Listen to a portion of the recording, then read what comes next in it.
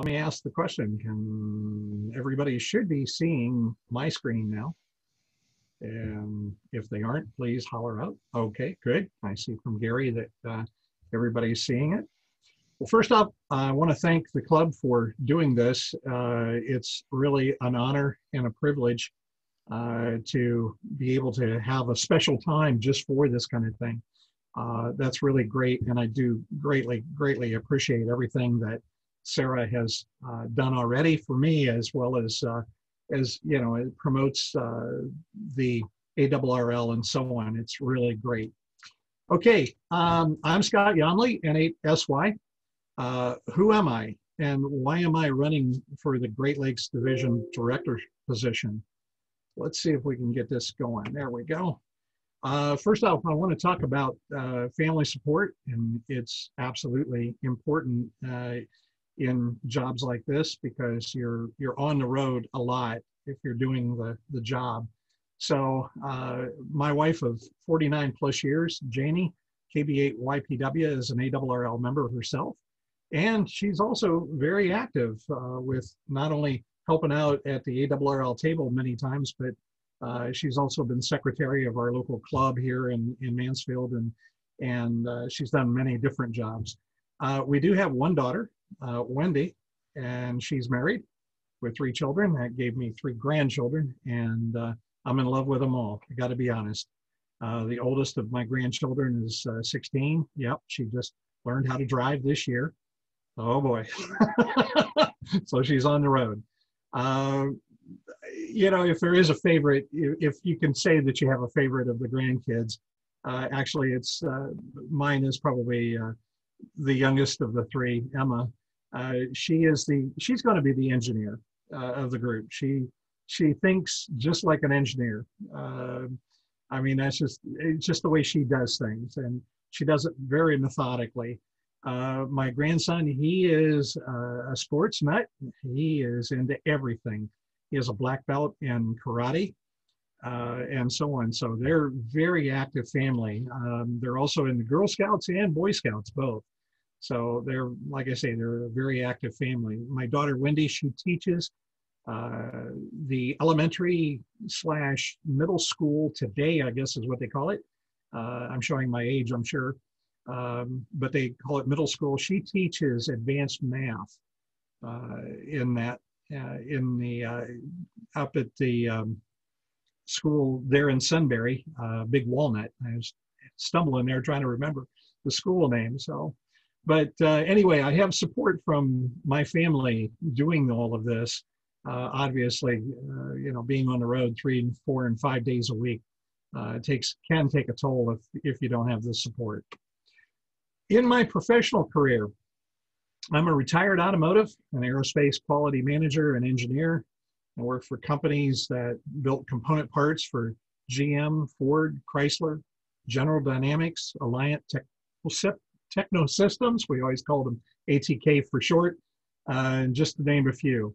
I was responsible for the quality and the component parts produced by our suppliers and also our own manufacturing lines. I was the customer's first line of contact when there were problems. So I do know how to work with customers in stressful times to achieve the best results. I routinely traveled North America visiting with my customers and my suppliers, resolving issues and conformance and, and making sure that we stayed in conformance. So traveling's in my blood, folks. Um, had to do it professionally and uh, learned how to, how to do it. And uh, it, it, it takes a, a lot of lot out of you if you don't know how to do it right. Uh, my experience with ARRL, which is really what I think you guys are more familiar with. Uh, I've been representing amateur radio for more than 40 years. I am a life member of ARRL. Uh, I'm currently the Ohio Section Manager, the Great Lakes Division Assistant Director. I'm an ARRL official relay station, official emergency station, I'm also vice chair of the Richland County Local Emergency Planning Committee. Many of you probably have never heard of that, the uh, LEPC. Um, we are the basic uh, eyes and ears and watchdog over EMA, uh, your local EMA. Uh, we are where a lot of the funding comes from for the special equipment and so on. So uh, I'm vice chair on our local planning committee. I'm also on the electronics board here in the village of Lexington, uh, which we buy all of the, our, our committee is the one that recommends for city village council uh, to buy what equipment, uh, what electronic equipment, including radios and computers and you name it. We, uh, we've been involved in it. Uh, I'm on the education committee uh, for the Emergency Management Association of Ohio, EMAO. Um, that is the professional organization for all 88 counties of your EMA directors. Uh, we set up and maintain uh, all of the educational programs uh, for EMA directors all over the state.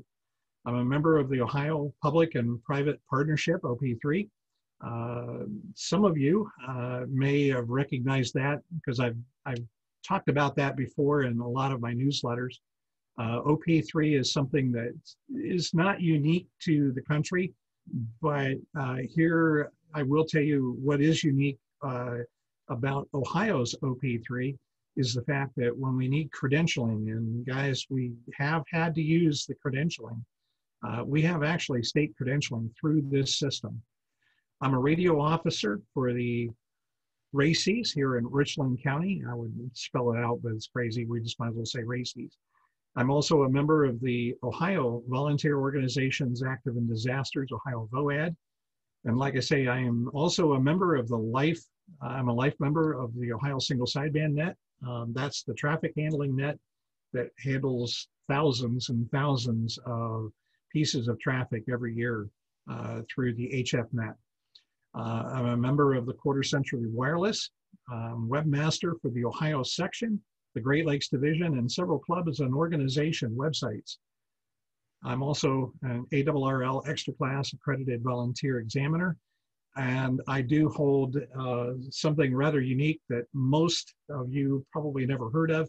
Long before ARRL got involved in the VE testing and, and so on, uh, DARA, the Dayton Amateur Radio Association, uh, had its own program uh, where it certified its own volunteer examiners. And I'm one of 300 of those examiners. And I'm still licensed through DARA today. Uh, as a lot of you here know, I do write a weekly newsletter for ham operators, and it's distributed throughout the country. Actually, I will boldly say it's distributed throughout the world. Uh, folks over in Europe, uh, over in many other parts of the world actually get our newsletter.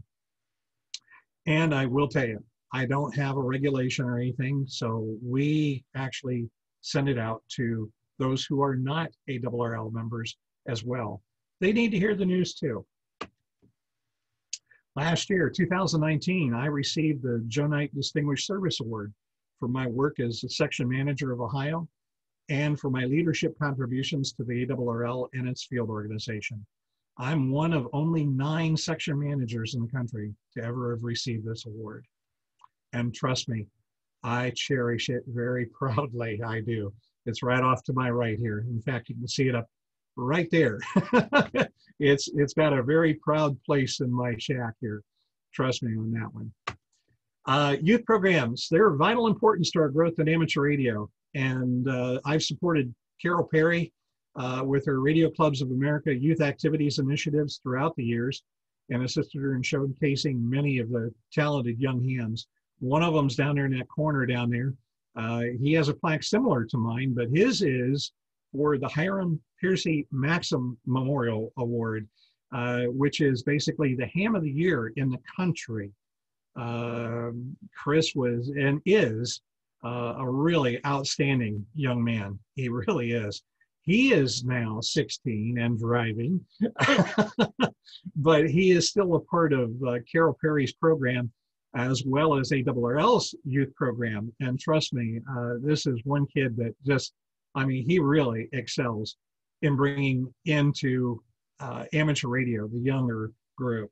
Uh, why did I go with Carol Perry instead of just doing something local? Well, Carol reaches out to way more youth than I could ever reach here in Ohio by myself. And her program's been going on for a good 25 years. So she has a very good sound base. She also has uh, works with the Radio Club of America, RCA, and they give out awards and uh, tuitions to kids going to college. So uh, I help support all that with her.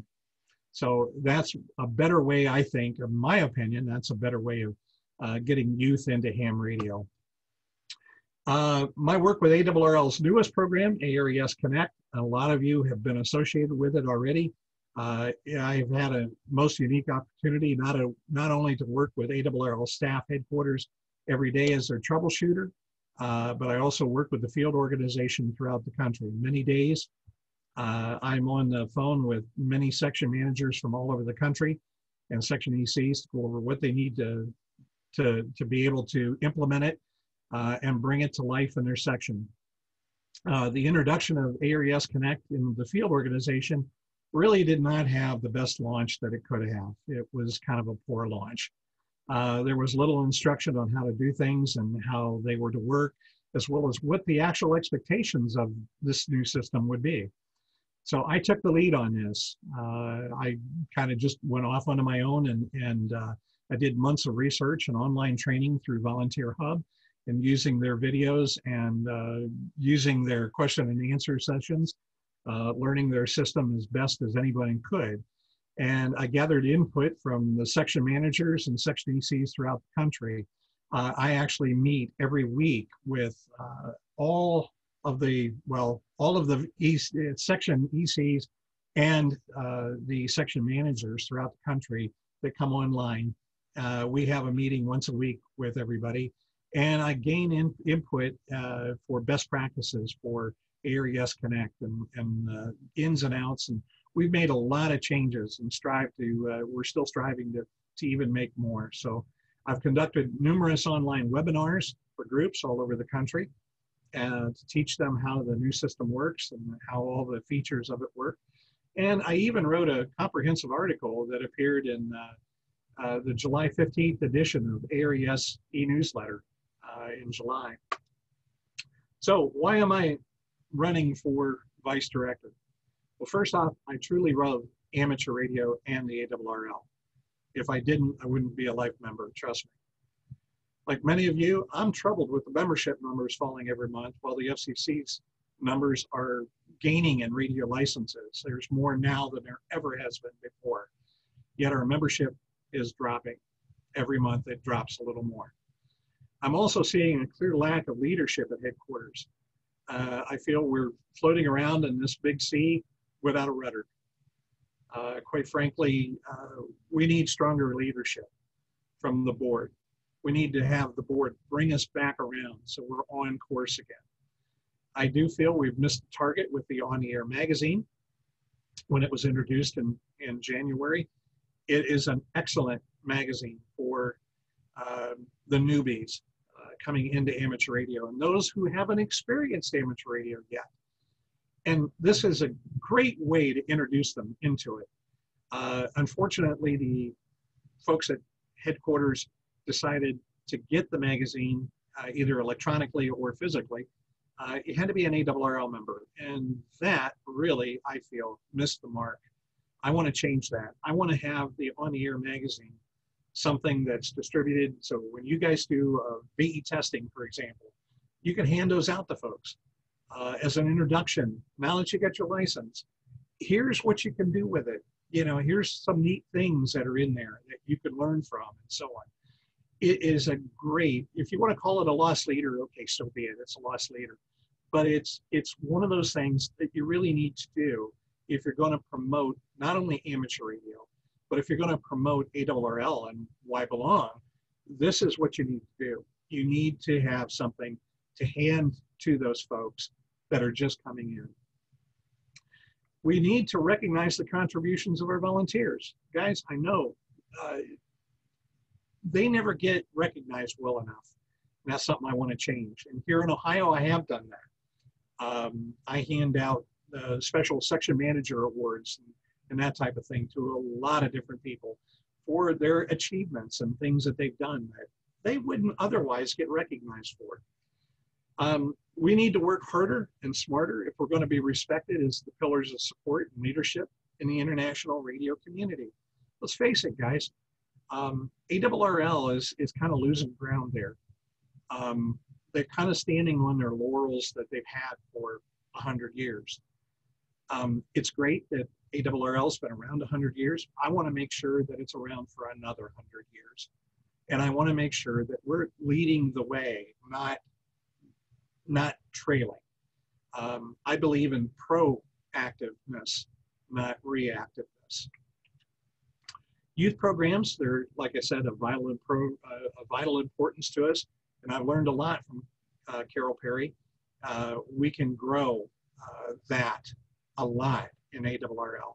There's a lot of things that she's proposed over the years that would work perfect in this kind of thing.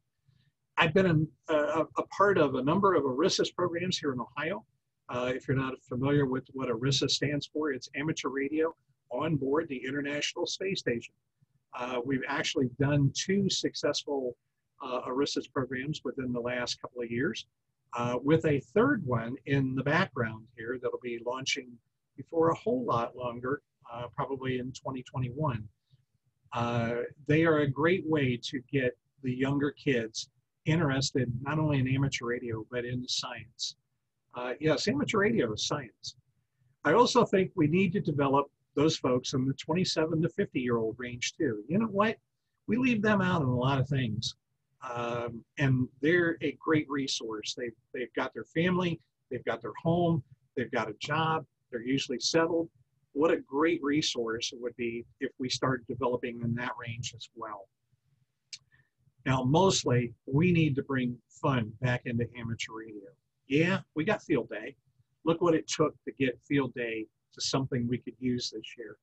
That shouldn't have happened, guys. That just shouldn't have happened. Um, those rule changes should have happened clear back in February when COVID started taking place and people understood we were going to be locked down for a while. That's the way that was should have happened. So we have our serious side, but you know what? We have our fun side too. And if you look way back there in that back corner back there on the Ohio section logo, you'll see at the very bottom in big, bold, bold letters, it says, it's fun. That's what we've got to do. We've got to bring fun back. You know what? If it ain't fun, most people won't do it. And I'm also going to tell you, and I know you've heard this before, most folks ain't interested in associating with grumpy old men. That's all there is to it. If you're if they're not having fun and they're being grumpy and that kind of thing, you're not going to bring in youth and you are not going to bring in the 27 to 50 year olds. That's all there is to it. They're going to say, Matt, we got something else better to do other than listen to a bunch of grumpy old men complain and whine about about what what they wanted or what they didn't get or whatever. So we need to bring the fun back into it and get the grumpy old men on board so they're not grumpy anymore. And I think we can do that. I really do. It never ceases to amaze me to see just how much talent and willingness to learn and teach there is here in the Great Lakes Division, in Ohio especially. Look, guys, um, we are so blessed. Um, there is so much talent here in Ohio. It, it's you know, you, it's just unbelievable. Everywhere you turn, folks are, are willing to help and folks are willing to do things and willing to learn. Uh, with our new program, ARES Connect, Ohio is leading the nation uh, for not only um, how many people are registered in ARES Connect, but how many people are at a level two or level three. We lead the nation with how many people are at that uh, those two levels. So that's something to be very, very proud of. And I want to bring along our Michigan friends they're right behind us, and so is our friends in Kentucky. They have a very active program. I'm a part of both programs up in Michigan as well as uh, down in Kentucky as well. Uh, right now, I'm helping both uh, both sections out with with uh, doing statistical analysis for them and helping them teach uh, others that are coming on board with the new system. And I want to be a part of a team, not individual, but a part of a team to not only strengthen the ARRL board, but to bring more openness to the board and to the Great Lakes Division. Guys, um, I know it, it's a it's a well overused word. It's called transparency, um, but it is really true. Uh, the ARRL board kind of keeps things still. Uh, some of the old guys up there, the old guard, still keep things very close to the chest. They're not sharing information. Um, we're a little more fortunate here. We do hear a little bit more, but um, I think we could do better. I really do. And I know we can. It's not even that I think we can. I know we can. I know we can do better with that. And I know we can bring the Great Lakes Division back into where we've got a great newsletter going out um, on a regular basis that's really telling the story of not just what headquarters is doing, but what is the Great Lakes Division doing? What's Ohio doing? What's Michigan doing? What's Kentucky doing? You know, we need to know that. We don't hear that. We don't hear enough of it, and we need to hear more. Um, hearing about, you know, there's a ham fest in Kentucky or in Michigan, that's great. But have you, when, when was the last time you heard about something that went on in Michigan or something that went on in Kentucky? You haven't. And we need to, we need to change that. We've got to bring, we've got to turn that around. We got to bring, and like I say, it's an overused word, the transparency into it. We've got to get more of that information out to everybody. As section manager, I've attended hundreds of hamfests and club functions. I'm always listening to what you guys think and feel and discussing those ideas with our team here in Ohio. The Ohio Section Cabinet uh, uh, is, is here to help improve. You guys have taken advantage of that uh, with Anthony and, uh, and so on. Uh, we have probably the best uh, Ohio Section Cabinet or the best cabinet in the country. I, it's definitely the most talented. we've got expertise in every field you can think of. and it's growing every day this is what I want to do as your as your Great Lakes Vice Director. Um, let's face it, none of us have all the answers by ourselves, but collaboratively, collaboratively, uh, we can tackle the biggest problems. We can, and we can really start to move the ARRL and the Great Lakes Division into the right direction. Why me? My record shows the experience working as a team player with volunteers, leaders, and government officials I have a proven track record of dedication and follow through, even when the work gets tough. This is the type of leadership that it will take to tackle the issues and move the ARRL and the Great Lakes Division into the 21st century. As a team, guys, as a team. I thank you for the opportunity to speak about my candidacy, and I appreciate if you would vote for me. Uh, please don't hesitate to contact me anytime with questions or concerns, I'm here for you. You know I am. You can also uh, email me anytime you want. Uh, my phone number is out there for everybody to see. Uh, you can find a detailed full bio about me uh, on my website, n8sy.com. Okay, that's the end of my thing. Uh, let's open it up for questions. All right. Thanks, Scott. Uh, yeah, just as a reminder for people who joined uh, after we got started, we're using the chat function to uh, sort of virtually stand in line. Uh, everybody is muted, so when I uh, give you uh, when I give you the nod, go ahead and unmute. Ask your question of Scott, and if you would please remute, remute after you ask the question. Uh, that way we can uh, have a good uh, good video copy here. Kind of so. a tongue twister, ain't it? yeah, I'm stumbling all over myself. all right, uh, first up is uh, going to be Gary, AAHCS. Gary. Okay, I unmuted. Is that a word? Um, I think it is now. Yeah. it must be. All right, uh, Scott. You know, I read the the newsletter today from the ARRL and it, it, was really curious because they had announced that uh, Phil Temples was appointed as the uh, New England Division Vice Director. Okay. Um, so now he's appointed. I I'm a little confused. Is that because um, uh, the ex um, vice director was uh, is now the um, I don't. Well, let me I, let me tell you how it works. Yeah, um, tell me how it works. Okay because I'm, I'm a little confused why, while you're in the middle of a of an election here, and there's other people being appointed all over the place. Okay. Um, well, first off, uh, back in January, the New England director uh, was uh, appointed as first vice president of ARRL, which left his job open. Well, his job really doesn't stay open long because there's an automatic succession uh, built into the board of director uh, rules. So the vice director now becomes the director. However, there is no succession plan for the vice director position. So the New England vice director position has been open uh, since January, uh, and they are just now filling that position. Actually, it was filled uh, a couple of months ago. You're just now hearing about it. Okay, but there's Again, no. part of the transparency problem. uh, you should have heard about it when it took place. Uh, we're in the age of instant media, uh, where if the president sneezes, you know about it. Um, okay, so is there ever elections in New England? Yes, um, we're in midterm, um, and what he has done. Well, see, there's only uh, the way they do it is a, a, the director and vice director are elected for three-year terms. So they what they do is is five divisions go through an election once a year. So Okay. this time it's Ohio and I can't remember what Midwest and and so on um, are up for election. However, that division is not up for election. So they will fill it by an appointment Okay, until the next round. gotcha. Okay, well, that makes sense, I guess. I, Now, uh, the same thing would have happened here when Tom Delaney had decided he didn't want to run.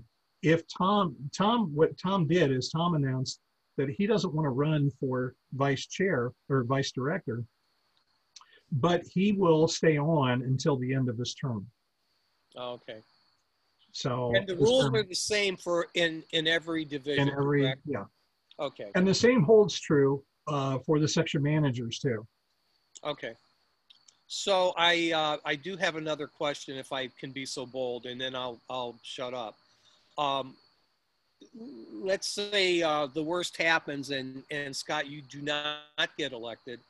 Uh, have we lost you as the Ohio uh, section director? No, um, I remain. In fact, my new term as Ohio section manager uh, doesn't start until October 1st. And then I'm, I've been reelected uh, and I will, I would serve that two-year term. Okay. All right. Well, thank you very much, and uh, uh, really appreciate all the information. And Scott, I knew you were a busy guy, but you got to be kidding me. Oh, no, uh, that's just what I have fun with. Oh, Keep in boy. mind, I keep it fun. Oh, there you go. All right. Thanks, Scott. Appreciate it. Thank you. All right, uh, Zeke, AB8OU, you're up. Okay, thank you. Uh, uh, Scott, uh, since you're about to start a two-year term, and if you became the vice director, who would be in line to uh, replace you as Ohio section manager? I, I'm glad you asked that question. That's very good. Thank you, Zeke. I appreciate that. Um, actually, the way it goes for the section managers, um, it would be up to the director and the, uh, well, they used to call it field services uh, manager, uh, but now it's called radio sport manager, uh, to place uh, a new person in to fill my remaining term. Now, do I have input to that? Yes, I do. Uh, I have a voice. Uh, it's one of three that that would be voicing, you know, uh, who would replace me. But quite frankly, we have such a great cabinet. Um, there are, I mean, I I can name three, four, five different people right off the top of my head that would be excellent at replacing me without any problem, and you'd never know I was gone. And, and let me also say, I'll also say it this way. Guys, even if I am elected as vice director, I'm not going away. You're going to see me. I'm going to be there. I'm, I'm still here. Um, I may wear, it'll still be a red badge. uh, but it, you know, I'll still be coming to the meetings and, and uh, being, uh, enjoying the fellowship with everybody like I do today. That won't change. And I have talked to Michael Kalter, who is running for director, and I've also talked to Dale, obviously, uh, about that, and both have agreed that if I were elected, they they would have no problem with it, with me doing what I do. Uh, Scott, uh, you said there is three, four, five people. Can you name five people that would be in the running? Well, you know who all the cabinet are? Right there is right there. They all are. Well, other than Anthony, I really don't know who the cabinet is, especially Okay. the Okay. Um, well, responsible for Northeast Ohio. all right. Um, you have. Well, let's let's just go right from the right from the corners here. Uh, first, you have Bob Winston, uh, W2 THU. Uh, you have Tom Sly, uh, WB8 uh, CD. Oh boy, my mind's going nuts. Um, anyway, you have Tom Sly, who's the affiliated clubs coordinator. You have Stan Broadway, uh, our section emergency coordinator. You have uh, uh, John Perone, who's my assistant section manager. You have Anthony uh, Luscre, uh, who is our section youth coordinator. They would all, and, and that's just to name a few, okay? There are others out there that also could fill in uh, the same way uh, very easily. Um, and if you want to go outside of the cabinet, one that really sticks out in my mind, uh, John Myers, for example, uh, KD8MQ, uh, he would be another great candidate. Like I say, Ohio is so blessed because we have so much talent that, I mean, it's just out there uh, for, for us to, to tap into. So there's just a ton of people that could be picked. Like I say, I have one voice out of the three. I have one voice, so we'll we'll go from there. Do I have a favorite? Actually, no. Um, they're all very good in their own ways. They all have their own things that that they're very very good in. Does that answer it for you, Zeke?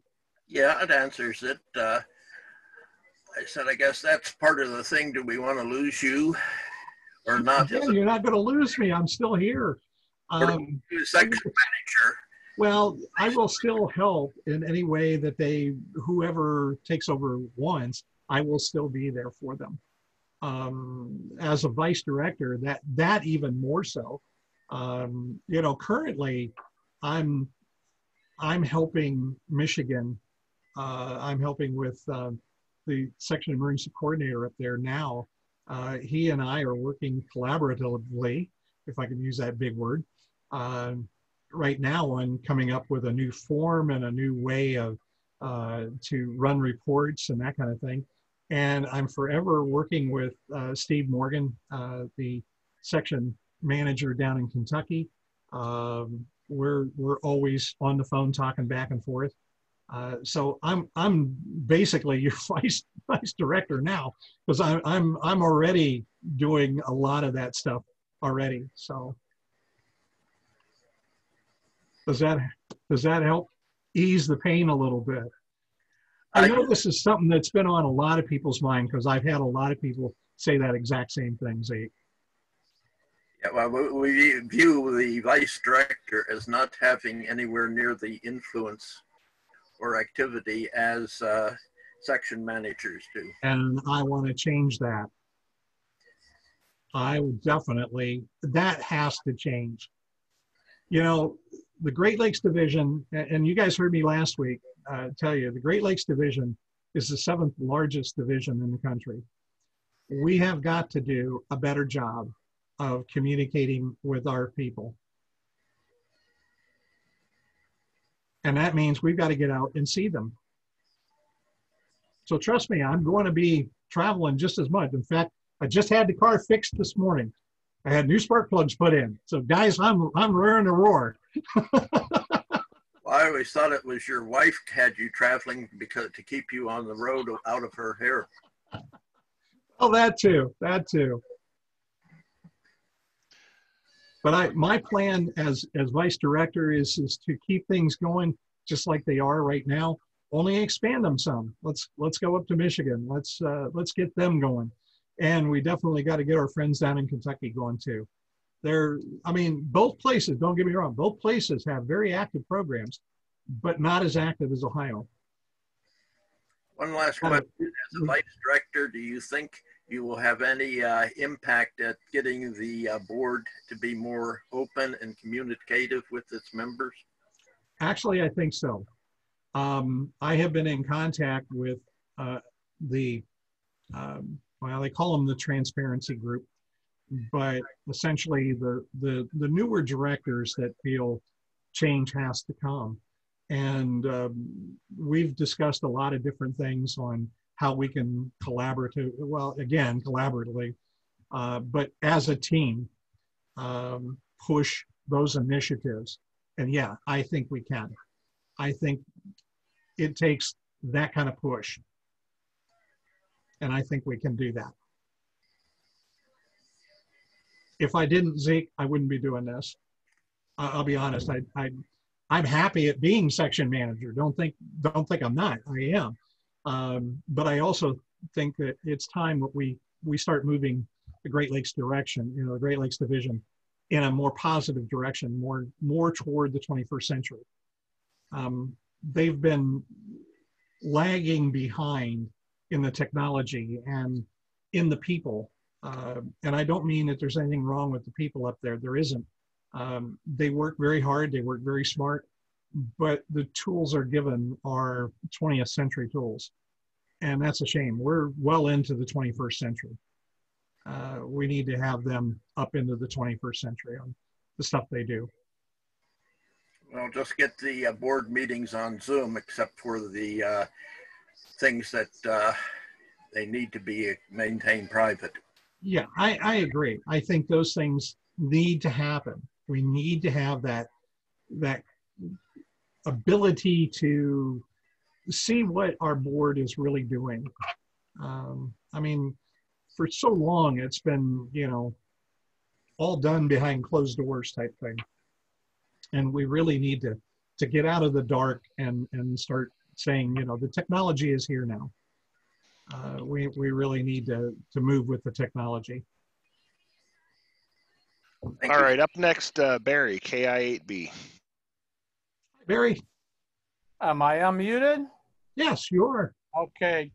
Hey, Scott, I, I, this question isn't directly relative to any of the elections, but the, uh, one of the few times, well, it's not a few in terms of quantity, but on, on the rare occasion that ARRL reaches out directly to members, at least to me, uh, I get between maybe 15 to 20, a combination of emails or postal mails regarding the Spectrum Defense Fund. And I just wondered if you have a feel for how much of the total resources uh, the board has that are spent on that and how effective uh, any efforts on their part are with the FCC and or Congress. So I, Well- I get a lot of those. And, and of course, once you make a donation, then you just get more mailers. well, that's usually how that, that works. Well, I just wondered if, if you have a feeling for, you know, if they're doing a good job or if a good job even can be done. Like, does anybody really going to hear us speak? So that's it. Actually, yes, they do hear us. Um, many on many occasions, they've heard us loud and clear uh, about you know things that have not been right. Um, when you speak of the the actual dollars, no, I really can't tell you for sure because I don't. I'm not privy to those numbers at this point. Um, I do know that every dollar that comes in under the uh, defense fund goes for the defense fund. That I can tell you for sure.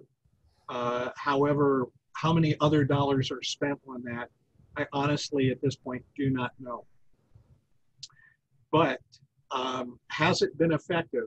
Yeah, I, I feel that it has. Uh, it's been dollars well spent. Does the FCC listen to us? Yes. Um, which is one of the reasons why I'm very disappointed that the ARRL has not responded very quickly and at, at all, really, uh, with this new newest proposal coming out of the FCC with the $50 fee. Um, I realize they they want to see how things are going to pan out, but um, it is a great concern uh, to many around the country. Um, and what I've heard from a few uh, from the board is, well, it's only $5 a year. What's the problem? Well, you know, yeah, I, I understand that. Uh, I also understand that uh, for us here in Northeastern Ohio, uh, it's not that much money. Uh, but I also hear from our friends down south that it is a lot of money. And you also have to put this in perspective. Um, you know, it's $50 for those new ones coming in to get their tech license. Now, they get their tech license and they study hard and they go to get their general. And let's say they get their general in six months. Now it's another $50. And let's say they really study hard and they get their extra. That's another $50. Well, that's $150 within a year, all for a license. That's a lot of money. I don't care whose wallet it's coming out of. Uh, so, you know, you have to put it that way. Now, the one question that has not been answered yet, it's vanity call. Um, if you get licensed and get a call sign that you don't really want, is it going to be $50 for the vanity call change? No one has answered that question. We don't know. So it could be another $50. So now we're not at 150, but we're at 200. Now, granted, the last 50, that's your choice. But think about this. We're, even in my presentation, we said we have to bring youth in. $150 for youth. Are they going to spend that on licenses? No. Let's face it. Let's be real. No. They'll spend it on video games, but they won't spend it on a license. I doubt seriously if they're even going to spend it to get the tech license. Is it going to hurt? Yeah, I think you're going to see the numbers drop back dramatically.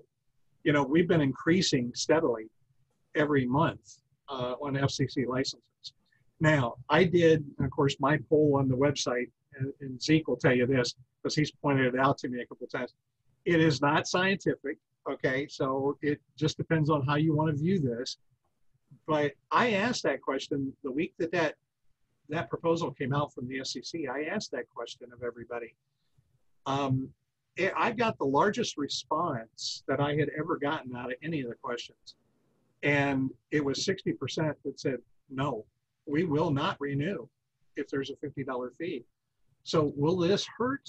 Absolutely, it will hurt. The numbers, our numbers will go backward. Now, I don't know about you guys, but I don't want our numbers going backwards. I want our numbers to grow. So this would be counterintuitive to growth or anything other than fattening up the general fund for the US Treasury. And I'm not sure that I'm willing to give them another $50. I mean, come on, you know. But it, it comes down to, you know, is it necessary? Well, you know, a few years back, the FCC eliminated the fees for the vanity licenses because they said it just wasn't worth the dollars spent. They'd rather do it just with the labor that they already had in it um, and not charge because then they don't have to mess with the credit cards and all that stuff that they were having to mess with. It also poses some other questions about, you know, when you do the VE testing, who's going to collect the $50?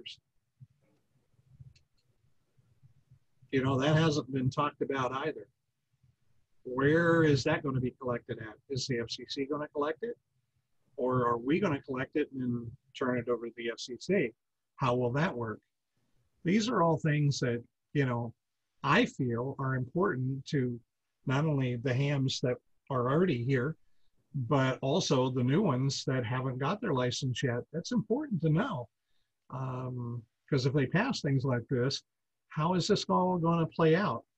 And those are questions that do need to be answered. Barry, are you, is that? No, no, no, your answer was fine, Scott. Thanks. Okay. All right. Anybody else? Yeah, I'm gonna I'm gonna Okay. jump in here. So Scott, I know you and I have talked about this uh, before. Um, I don't know if you were expecting me to to ask this question or not, but um, I, I had and I had even you know I've talked to you about this. I actually even exchanged a couple of emails with the old uh, the the, the um, Howard um, Michelle Michelle um, Michael. the Michael yeah Howard Michael Michael, yeah. um, about when when will the ARRL move from geographic based or a extre- a heavy focus on geographic based in person ham radio organizations? Not that there's anything wrong with local clubs and you know the geographic sections and things like that but you know uh, people are are united online now through interests rather than geography and the ARRL doesn't have anything for that. And and Howard had made a comment in an email where we, he was said, you know, that the ARRL was going to come out with some new community building tools to help. I mean, if you don't have a website, you don't exist, and lots of radio clubs don't have websites or good websites or maintained websites. You know, we're still talking about newsletters in 2020. Uh, you know, is there is there something moving forward on that or do you have you know is there something you want to push for in that area Absolutely. Um, I'll give you a little history. Back when this website that we have currently on headquarters up, up at headquarters, back when it was being built, uh, back in 1999, they um, they wanted to give every section. They they recognized that not every section had a website, so they wanted to give every section the opportunity to have a web presence. So they essentially off to the side, and you never really hear about it. Although you have a link to it, when you log in, you can actually go to the Ohio section portion of ARRL if you want, but it's not talked about. Now, when they originally came out with this, I was one of the selectees for the committee because I was already doing websites. And when we sat down in that committee, most of us said the same thing, you know, we need, you know, two or three pages to tell, you know, who the club president is and, you know, go through the whole the whole schmear of what most, you know, most club websites do. And then we wanted to be able to put pictures on and so on. And we were told, okay, we'll we'll take that and we'll see what we can do. The end result um, was is we have each one of the 71 sections has its own individual web page. It's a single page. Every one of them is designed exactly alike. We have a text area that we can post text to. And that's it. You can't add pictures, you can't add anything. It we complained vehemently about that. Um, I need more. I need, you know, if we're going to do this right, we need to really, you know, bring it in. Um, so they gave us the ability to put link links on. And so all I'm able to do at this point is I can put um, text in there. I'm limited to 10,000 words. So you have to be careful even uh, with a newsletter. Uh, you know, you're, um, even if it's just a monthly newsletter, you have to be careful. 10,000 words doesn't, isn't that much. I mean, it's about five, six pages.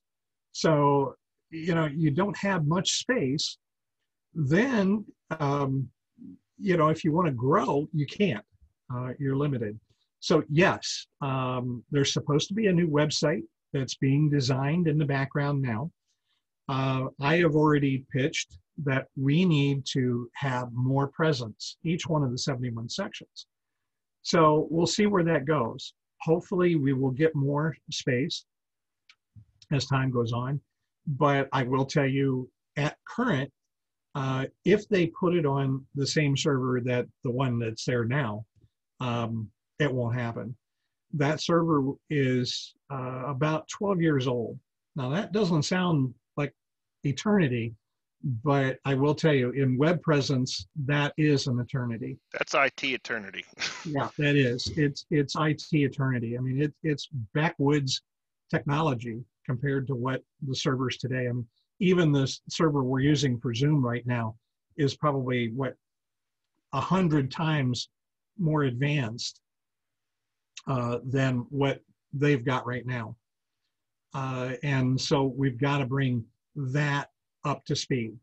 Now, they have made a proposal uh, two years ago, the board approved, uh, to spend the money on buying new servers and buying the new technology. Uh, that was two years ago. We're still in that phase of, okay, what do we do? Um, they did this year purchase a new payroll uh, software program, which is uh, current, well, which got implemented about a month and a half ago. but that's that's about it. Um, so we've got to get the infrastructure. Now, I, I want to also emphasize infrastructure. Um, when we talk about infrastructure, we all think, you know, computers and radios and the hardware. Uh, we also have another problem going on. Uh, or uh, let me let me turn that around. I don't want to say problem. We have another opportunity. And when you think about it, most of you folks never have much contact with headquarters, the actual personnel up there. I do. I, I have contact with them almost every day. Um, we have got an aging workforce uh, at headquarters. Many of them are retirement age right now, and a number of them are going to be retirement age within the next year or two. Now, you know, any any good company looks at their their workforce, sees the median age, understands that you know the older ones are going to drop off, they're going to retire, which they've earned, and so on.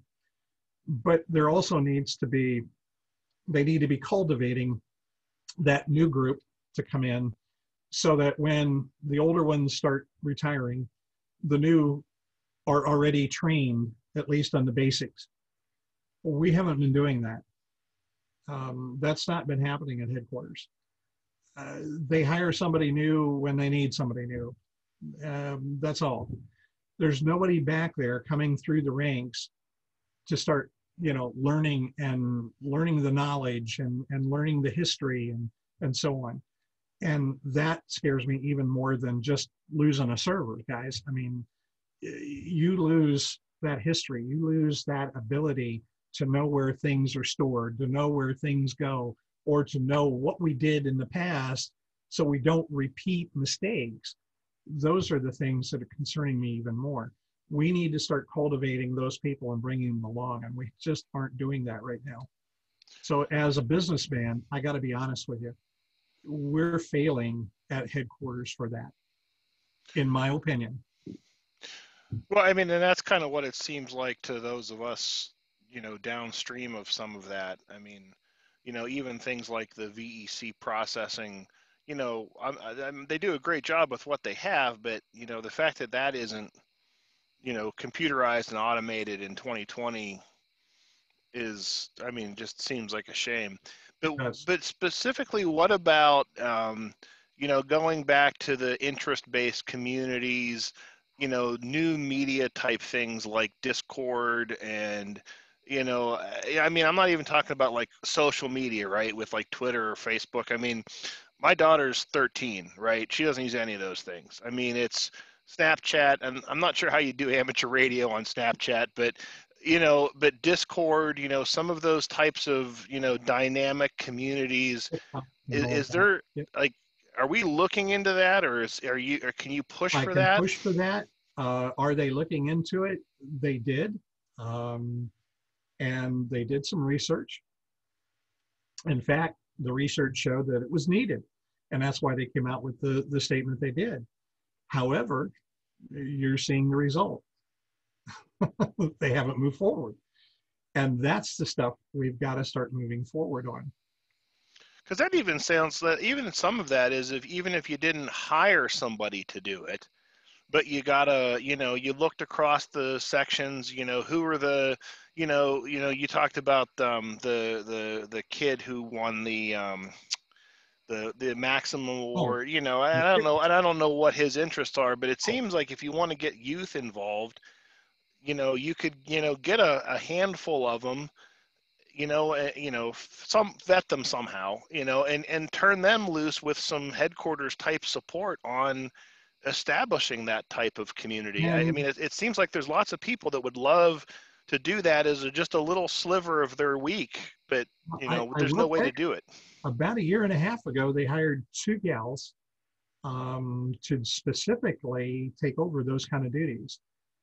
But they haven't really done that.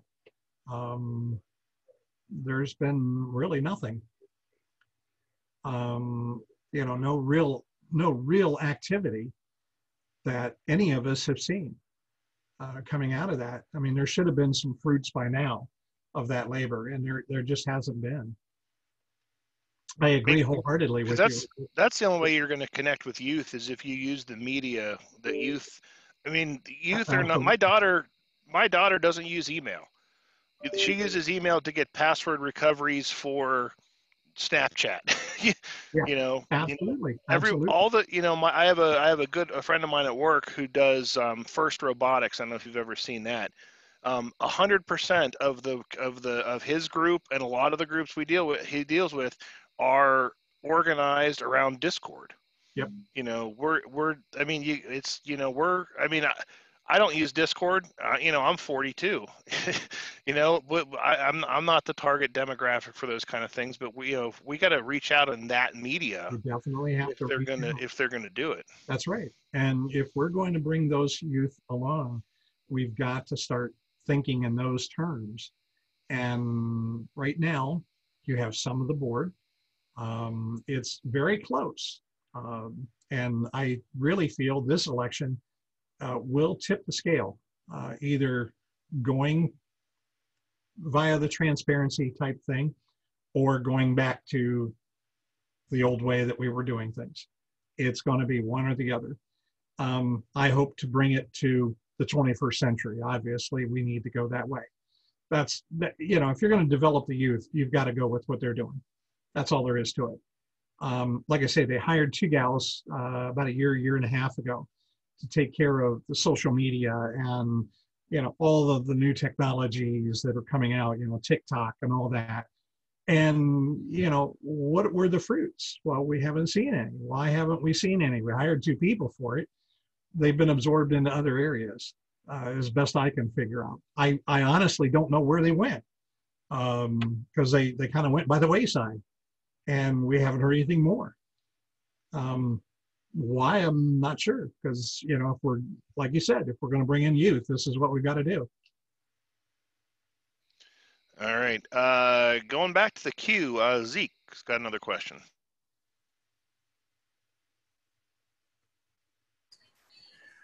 Okay, uh, one thought on the uh, licensing uh, fee that's been proposed. I have the uh, thought that it is an effort to uh, reduce the amateur population as a means of justifying uh, reducing amateur spectrum, especially up in the uh, gigahertz range where uh, there's a commercial market for it. Absolutely. Uh, 3.5 gigahertz is being looked at now. Right. So I'm, that's one of my suspicions is that's the basis for the uh, license fee. Oh, there's Anthony. um, Zeke, I will tell you, um, you know, and, for the whole group, not everybody is unhappy with this $50 fee. Now, I say that in honesty because uh, this $50 fee goes across the board for licensing. And those folks with GMRS licenses now currently pay $70. So they'll get a $20 a year, well, a $20 a license uh, reduction. So they're they're quite happy with this idea. I had a second question. and, uh, escaped me for a moment. Let me think what it was. Uh, concerned youth. Uh, you know, I see a lot of the uh, younger folks, the youngsters. They come in, they go, they sort of plateau and lose interest. And for your uh, middle-aged or your uh, what 27 to 50 was it that you said uh, people they get involved in uh, you know their work and their family lives which reduces uh, their participation i'm not sure how you would go about uh, keeping their interest up Well, you make you make it fun. Field day, um, NVIS day, parks on the air, uh, all these kind of things. And uh, you know, we've got one of the experts, and I will say, Anthony, no matter what you may say, you are one of the experts uh, with Section Youth and with uh, bringing youth into the groups and so on. And I thank you for your service for that. Uh, we have been blessed with having Anthony, and he's been doing an excellent job uh, getting the youth excited about, you know, they call it STEM, you know, science, technology, engineering, and math. And, you know, amateur radio is all of that. Uh, it really is. It's all of that.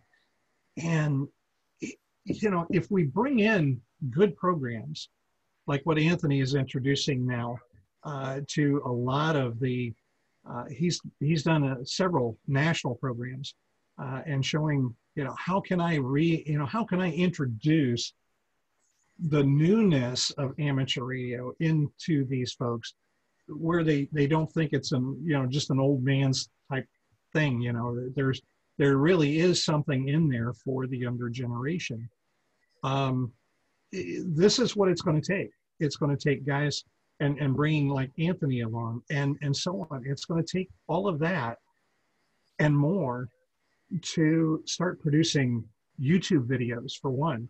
Uh, another is actually doing online sessions, just like tonight. We need to have more of that. Um, ARRL has got to take the lead in doing online training and online and, and making it exciting once again. So there's a number of things that we can do uh, in in that line that that would make it very exciting for youth as well as that um, younger um, adult group as well. well you look they're doing a lot of that stuff you just look at the number of uh, youtube videos on uh, amateur radio and electronics but they're not being done by the ARRL which i guess is part of your point that, Right. uh, so those are that's all occurring outside of the arrl And here's the thing, you know, the league does not have to produce it um, in, in order to make it good. There are a number of YouTube vid- videos out there that have been produced by people all over the globe that are excellent videos. Um, there's currently one going on right now. Uh, it's kind of behind the scenes for you guys, but it's being done for the section managers it's all about WinLink. It, it was a 12 week program and they, they take an hour and they do this, this video layout of how to get started in WinLink and what it's all about, how to do it, what to do, and so on. Um, these are going to go out to the general public. Um, the last good video that's been produced by ARRL was the 100th anniversary video done four years ago. Uh, it's an excellent video. Uh, I take away, you know, I, I, I be honest with you, I still go back and look at it every so often because it, it is such a good video. But it was, it's now four years old. We need to bring more videos and more of that type of thing. But it doesn't have to be produced by ARRL. Now, can ARRL put a link to those up there? Yeah, they can. Can they put that into their magazine and say, hey, you want to learn about DMR or Fusion or know how to program your radio? Go here. Do this. You know, watch this video. It's excellent. It'll teach you how. Those are the things they don't want to seem to do. and we need to bring them into look guys you can't you can't be good at everything you you can't be the answer all no one expects you to be there are so many other people out there that can help and we need those other expertise out there that that are out there. We need to tap that and say look if you don't mind we want to use use your video for a link. And you know what? I, I think just doing that alone that alone would start to bring in those people we're losing. Well, I think, uh, like many other societies, they want to uh, capture the revenue stream from the material that is produced. Therefore, they're not interested in uh, linking to uh, outside sources. and they're going to have to get out of that mindset. That's one of the things that I'm hoping to draw them away. You know, not everything has to be tied to the all-American dollar. Um, you know, there are some things that that $49 should pay for. Thank you, Scott. You're welcome. Yeah, you know, just I'm going to abuse my moderator, my moderator, just for a second here. You know, um, you know, there are a number of people in our area who, you know, who create content, you know, little YouTube videos and web articles, and I think that the ARRL would find that most people would be like, oh, great, the ARRL put a link to my thing in, you know, QST, or what would you like me to talk about? I mean, you know, QST is like, you know, we'll pay per word for articles, but most people are going to do it because they want to do it. Right. Um, absolutely. You know, I, I think I think that if if they would focus less on QST as a magazine and more on getting content to people, the content doesn't have to be polished because that's not the age we live in anymore. and see, that's the, you're, you're absolutely right. You, you're, you're dead spot on. Um, we need to get them off of this idea that it has to be that so-called excellence that ARRL is supposed to bring. Sometimes we need to just tap into what's already there. You know, why aren't we reinventing the wheel? Um, Yeah. And and the crazy part is, is we're you know they're they're still trying to reinvent the wheel, but the problem is, is the wheel is, is spinning so much faster than they can keep up with, and they're being run over by the wheel that they're trying to reinvent, and Yeah. that that doesn't serve anybody. That just does not serve anybody. But like I say, you know, I and, and you tapped onto this. I, I will tell you, uh, Ken, um, OAD, produced a, a little. He and I produced a little video. Oh golly, what three, four years ago, on how to program an OpenSpot. Now, for kicks and giggles, I just, I you know, it's on my website, so I can see, you know, who's who's really going at it and who's who's selecting it and so on. Just like any webmaster can do, if you know, if he's got his website set up right, he can monitor what pages are actually being viewed.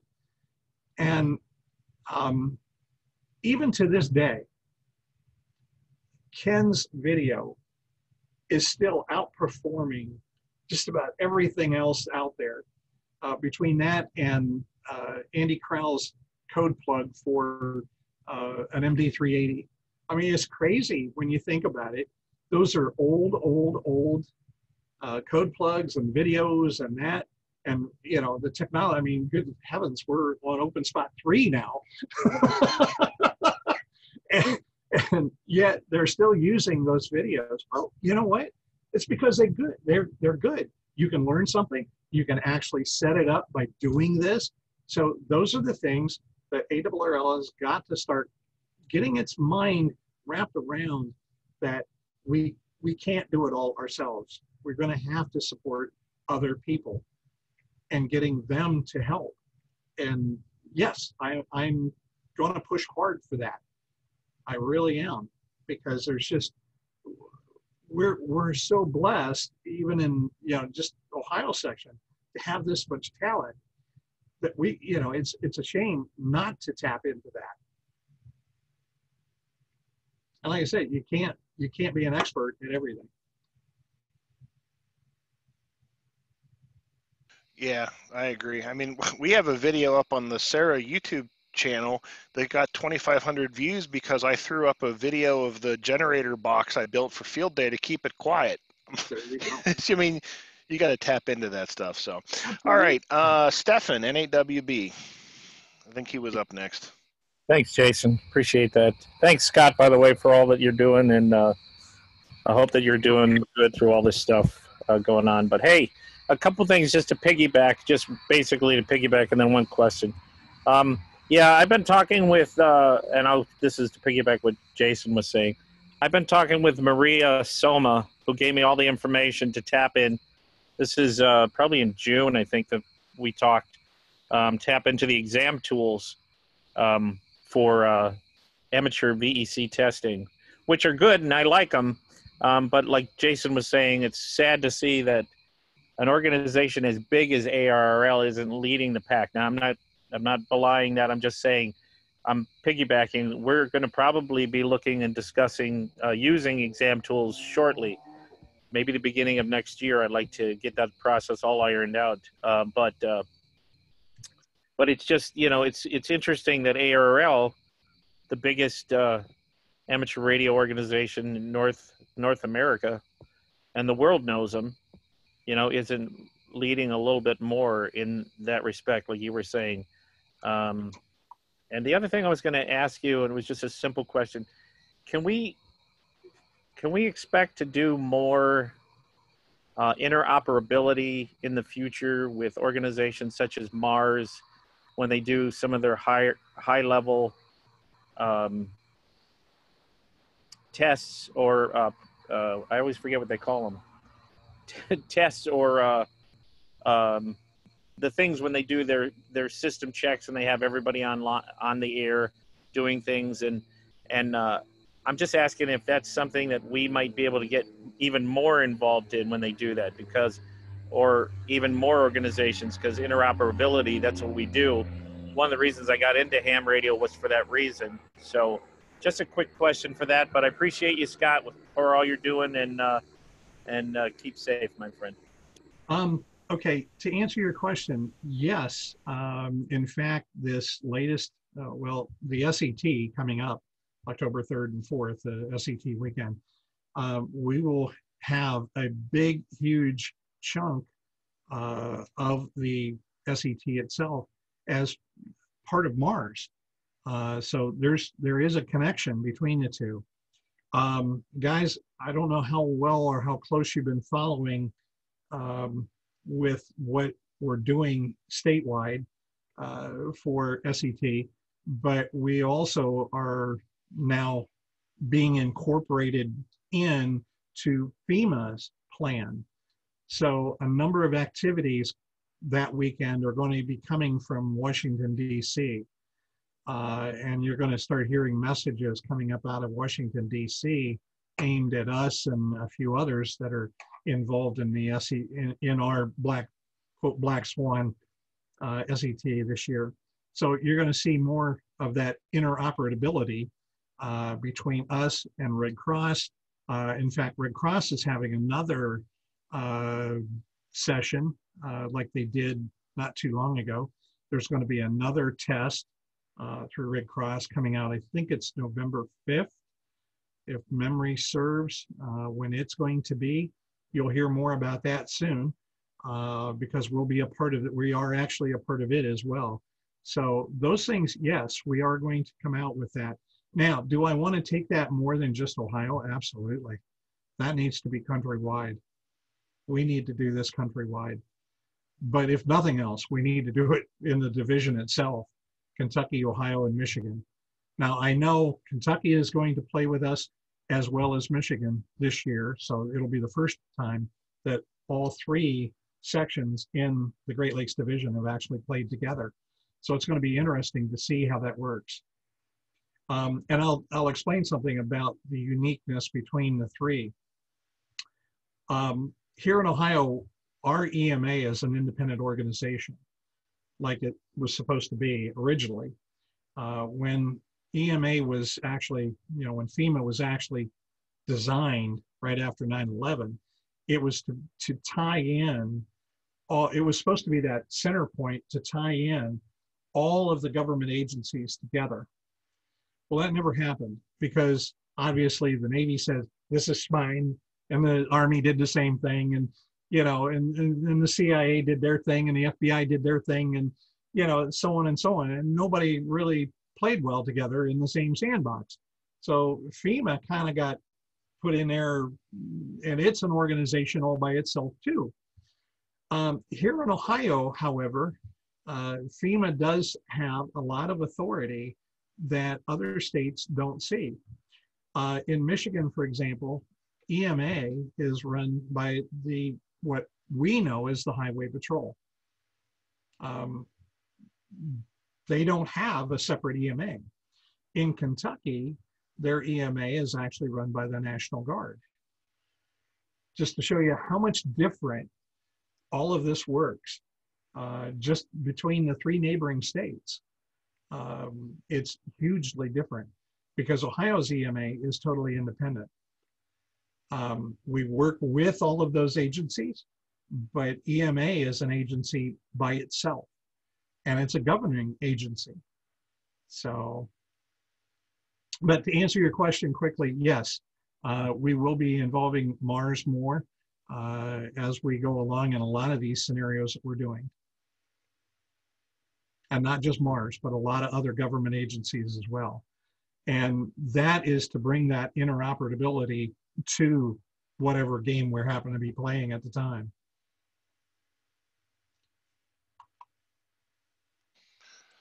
All right, that was the uh, that was the last person who checked in. Does anybody else have a question that they want to ask Scott before we? Oh, Anthony, uh, go ahead. You got your hand up. Well, I was just going to uh, second something Scott said, and I'm sorry I didn't get here for the beginning, so Scott may have already talked about this, but one of the things um, that happens with AWR projects is they can take uh, a year or years to they can start out with really good intentions but take forever. I know because i'm personally involved in a project that's now pushing uh, 13 months and it's been sitting in the can ready to go and i'm just waiting for people to have access to it but it hasn't happened yet. So it sometimes can even when they do move forward on good projects they can take a long time now, this is what I was alluding to by, you know, the Anthony is part of a national program here um, that has been. Anthony, can you?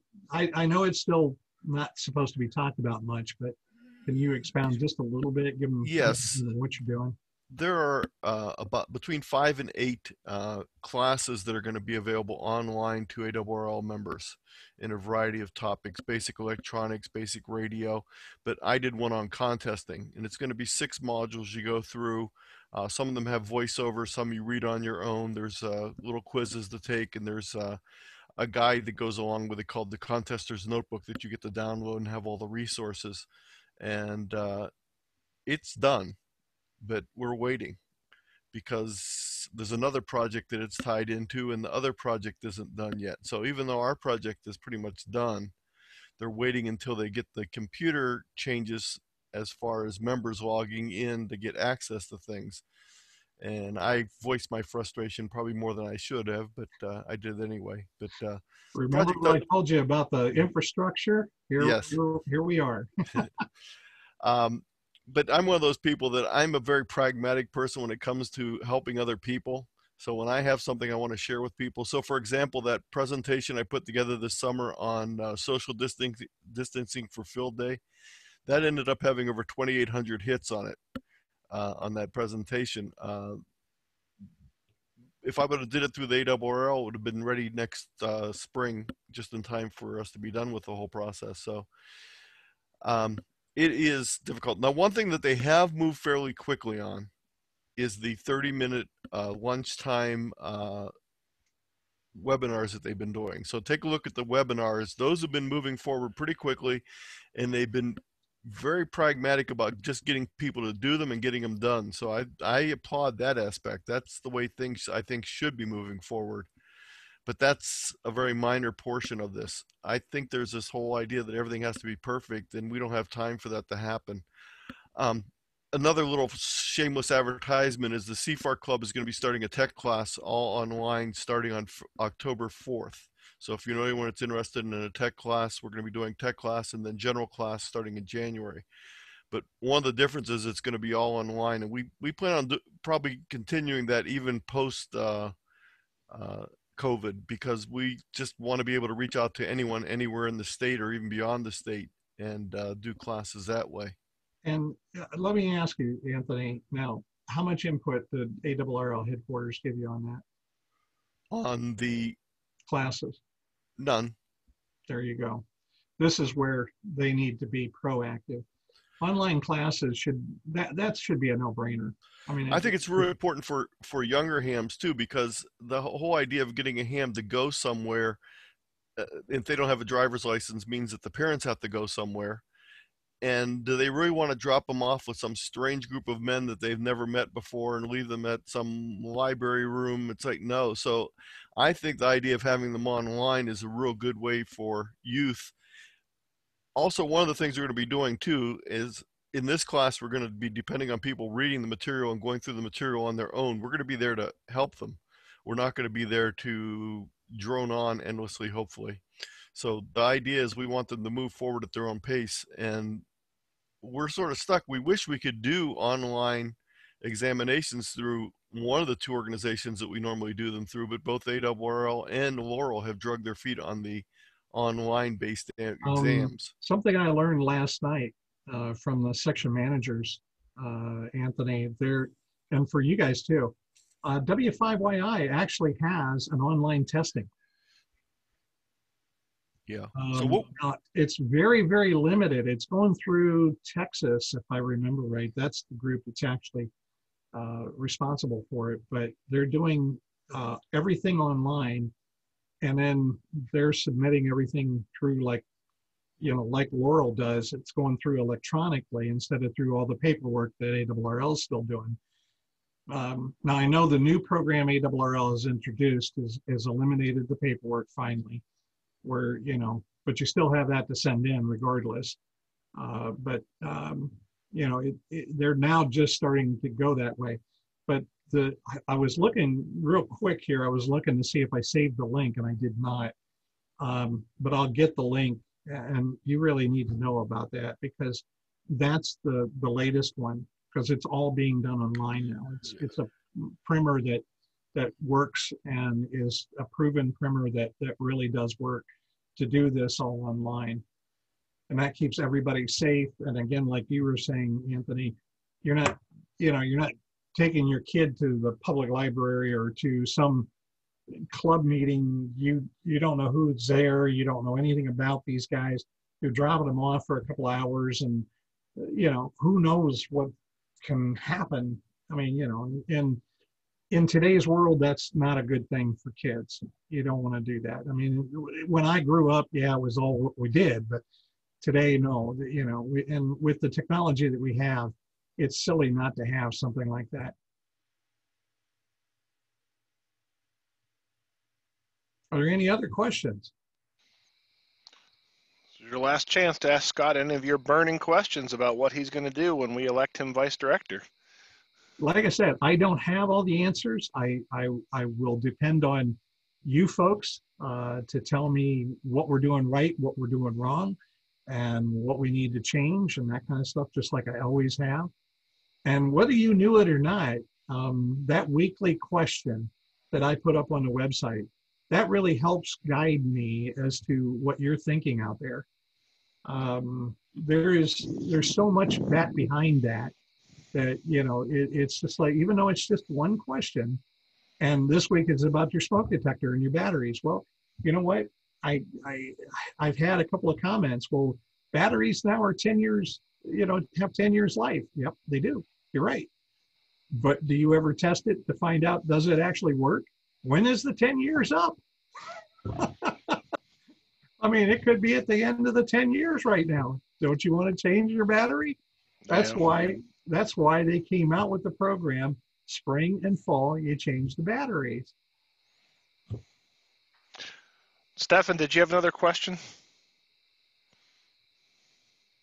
Yeah, I did. Uh, appreciate that. Last one, real quick, kind of funny, but I might as well just say it. So I know you said this earlier, Scott, that they need to get people behind that are for the for the people that are getting older, and getting to the age where they need to be replaced, or they will get tired and they'll they'll fall off the switch, as they say. Mhm. Um, um, and also the people that are doing the possibly an IBM mainframe with a pancake drive. Um, how do somebody actually get involved on that side of the house? Like you were saying, how do people actually? Because ARR web web page is a beautiful page to go to, and the building in Newington's a wonderful place to visit. And you open the door and you hear the ah, ah, ah. but you know, I'm just you know the the actual legal. How does somebody like I got a year and a half, and I'm gonna retire, and mm-hmm. I'd love to do something else. So how does somebody take what we love to do and actually get involved in the era, not on your level? I'm saying on the nuts and bolts level of what needs to be done when those people finally decide that the dead man switch on their HT that they fell off of now they're communicating just a blank noise somewhere in the um, world. That's been the problem. Um, they only hire when they need, and they, you know, they rarely ever put that out there. Uh, the CEO and the EM uh, director were the only two positions, but those are managerial positions. Um, as far as the infrastructure inside, they really don't they really don't advertise it. They don't tell you. Um, there is a position open right now uh, for uh, to manage the affiliated clubs. So, uh, which is something else we haven't even really discussed yet, but that's something else that's really important. And I'm glad to see now it's a brand new position. Um, so and and they're taking you know basically resumes for that. So but as far as like the it department no you never hear about when those jobs open up. Um, the board usually knows and that's where that quote transparency needs to happen a little bit more because we've got a heck of a lot of talent out there that's willing to you know volunteer their time. And uh, i know like with me and I do the troubleshooting for ARES Connect, that is something that, you know, if if we did it on an official basis, they would probably not allow me to do because they wouldn't hire anybody. So I, I hate to say it that way, but that's the way it's been. So hopefully uh, once I get elected uh, and get on the board, we can make those things a little bit more transparent and maybe have like a, uh, a bulletin board that says, you know, these jobs are going to be coming up. I mean, heck, there's, there's, you know, there's no reason why you shouldn't be doing that. Putting the, you know, at least the now hiring out sign out front.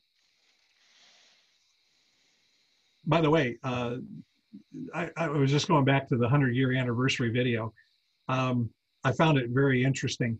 A couple of people in that video were uh, work for one of my suppliers that is only about uh, about a mile down the street, literally from headquarters. So when I used to go out to, ha- you know, I used to have to go visit them. Of course, that wasn't, you know, that big a chore. I'd like going out there. Um, I would go there, and of course, you know, do my thing at the at their facility and that, and and then uh, of course the afternoon we always left open, and they they kind of understood that the afternoon was open, so I could go play up at W1AW. Had the mixed business. See, you got to keep it fun. You see, that's that's the thing. You know, it would be very dry and boring if I just did a, a supplier visit and that kind of stuff, and did the assessments that I was supposed to do for you know, automotive and all that, and, and for aeronautical. But um, you know, when you mix it with what you have fun with, now it's no longer a chore. and by the way, nobody in our plant ever went out there before before I did, and nobody since then has ever gone out there because they don't want to travel. All right. Any other questions for Scott before we wrap it up tonight?